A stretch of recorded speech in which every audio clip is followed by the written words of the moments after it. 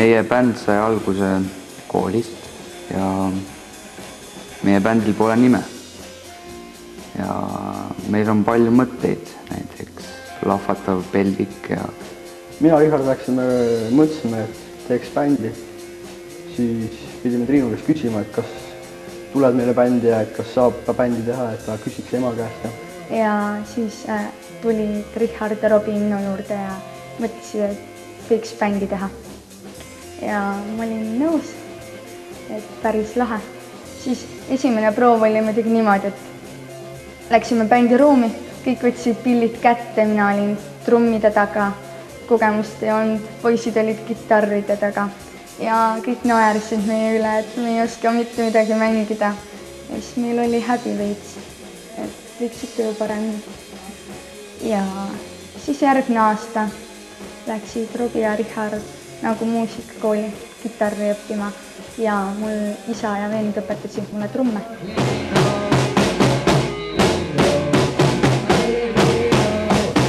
Triin mängib meil trummi, tema kogemused on üpriski head, kuna ta isa ja kõik pered oskavad pilli mängida. noh, neil on ka vend ja nii. üks kuskil juuli või juuni, juuni lõpus oli, Triin tuli mulle ütlema, et astu meile bändi ja mina muidugi nõustusin. pilli mängida ma oskan natukene, mitte palju. ja vahepeal, kui läheb asi raskeks või siis lähen Antsu või venna juurde ja siis ütlen, et näita asi ära, siis ta näitab mulle korra ette. siis ma proovin paar korda järgi teha ja siis tulebki välja. esimene esinemine oli meil noorteka avapidu. seal läksime lavale ah,, Hanna-Liisa oli ka. kahjuks enam ta bändis pole, läks minema. aga läksime lavale, kõik oli mullult pabinas ja kui ära mängisime lõpuks, siis kõik karjusid lava all, et korrata, korrata, hästi tore oli.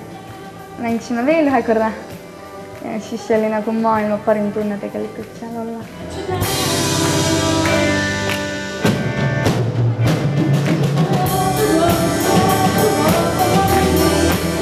Meil eesmärk on, on luua üks korralik lahe bänd, et saaks rahulikult inimestele esineda, etendada ennast, kuulsust ja muud erilist ei midagi.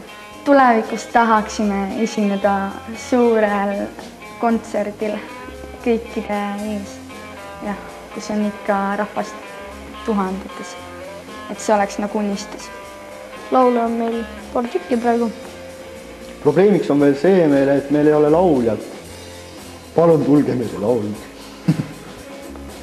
meil on vaja lauljat. palun.